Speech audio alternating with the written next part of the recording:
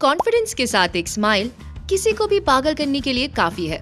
But wait how can you smile without showing your teeth pout pose ये वो बहुत ज़्यादा शर्मा रही है वाला पोज अरे रुको यार, अब मैं और नहीं हंस सकती। और ये मेरा बेस्ट एंगल पोज और get toothsi clear aligners